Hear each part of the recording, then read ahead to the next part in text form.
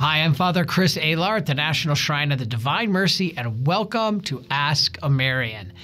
Elma Flannery asks this week Father Chris, in all your talks, I have never heard you do a specific one on John Paul II.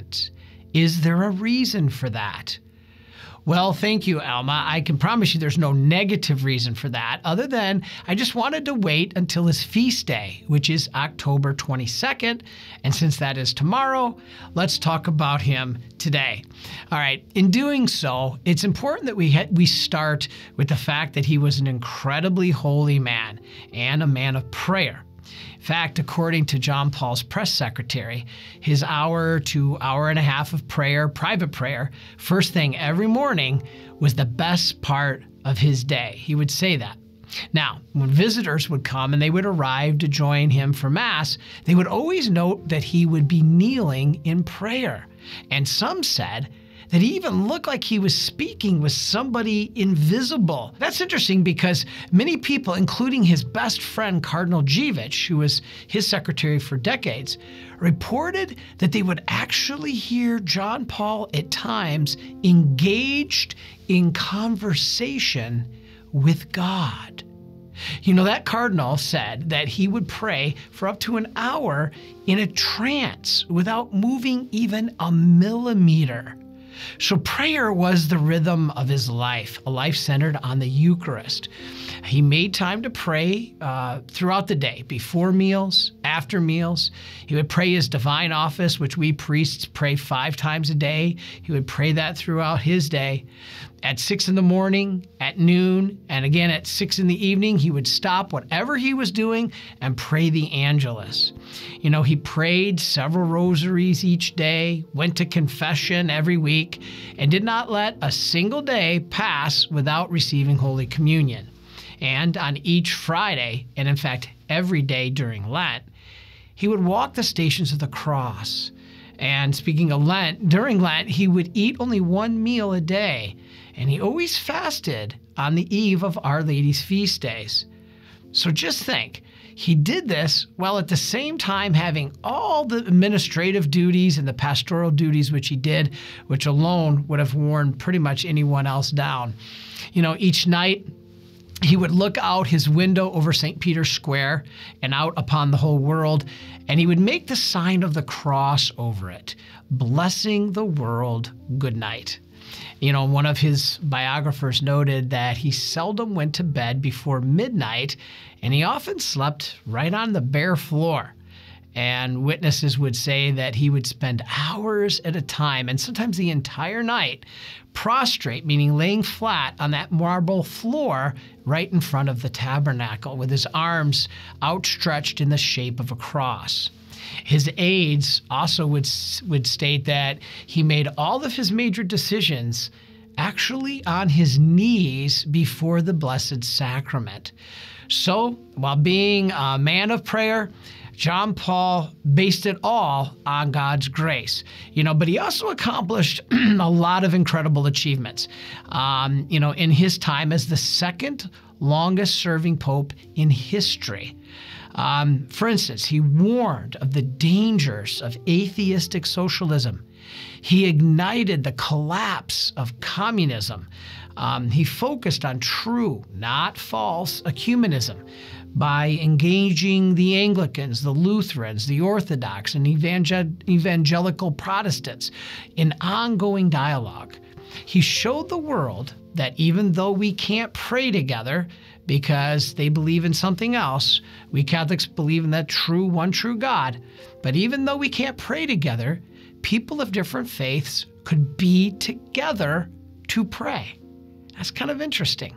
You know, we had to remove Father Allen's video last week, unfortunately, about John Paul's visit to Assisi, where he um, did kiss the Quran, uh, because the comments became very hostile.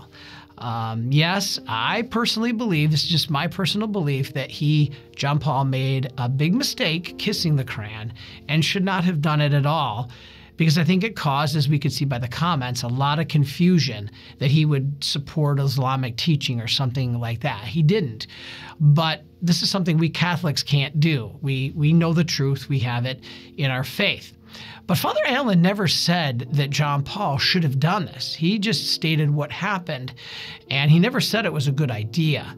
Father Allen just stated what John Paul's intent was, and his intent was one of living with our neighbors in peace, not a statement of truthfulness about the Quran. So please, thank you to keep that in mind. Now, other noteworthy things uh, were John Paul's response, for instance, to the sexual revolution with Theology of the Body. This is an incredible watershed work. If you haven't read it, please, please do. Showing the beauty of marital love and how it imitates even the Trinity. He also commissioned the new Catechism of the Catholic Church, presenting this strong Catholic teaching, but yet in a comprehensive and very simple and coherent way, easy to read. And perhaps the greatest achievement of all, John Paul brought to the world an awareness of divine mercy and St. Faustina. He said that he believed the reason he was made Pope, can you imagine this? The reason he believed he was made Pope was because of divine mercy. And as he saw it, was his special task before God, why God gave him the role. In fact, at St. Faustina's canonization, he said that it was the happiest day of his life. He said that in private, but several people heard it. Now, here's something interesting. St. Faustina wrote about what many believe was her own canonization. Yeah, in her vision, and this is in her diary, in her vision, she saw St. Peter whisper in the Holy Father's ear. Now, she didn't know who the Pope was at the time. She didn't say it was John Paul, but she said the Holy Father. Whispered, St. Peter whispered in his ear. Now, on the day of St. Faustina's canonization in 2000, it appeared that John Paul was not going to make any kind of a statement about Divine Mercy Sunday. But then, suddenly, after being silent in meditation, he proclaimed it as a feast, a universal feast, and put it on the universal calendar.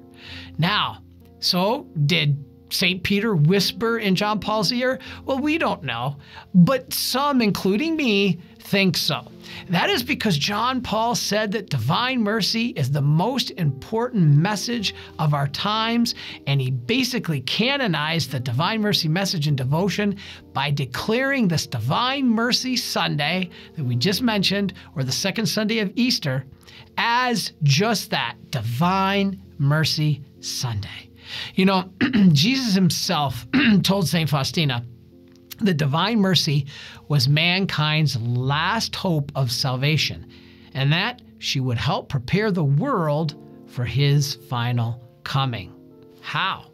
Well, with the help, a little help, of John Paul II. You know, Jesus said that a spark would come from Poland to prepare the world for this final coming. And that spark, we Marians believe, is St. Faustina, Divine Mercy, and John Paul II. You know, he said it that it was as if Christ was saying through St. Faustina that evil does not have the last word. And in fact, he continued to proclaim it through his entire life, all the way up to the day he passed away. And John Paul, he died on the vigil of Divine Mercy Sunday. And it was actually Divine Mercy Sunday in many parts of the world. And he passed away within one hour of receiving Holy Communion and having been to confession. And remember, that's the condition of the promise. Go to confession, receive Holy Communion, and you will be completely wiped clean of all sin and punishment. So that means God's reward to him for tirelessly spreading this message of divine mercy would be that he got that divine mercy promise of the forgiveness, as we said, of all sin and all punishment. In other words, he got his slate wiped clean. His soul was spotless, just like a second baptism, and just like yours can be on Divine Mercy Sunday as well. So thank you, Alma, for the question. A great one. And until next week, may Almighty God bless you in the name of the Father, and of the Son, and of the Holy Spirit. Amen.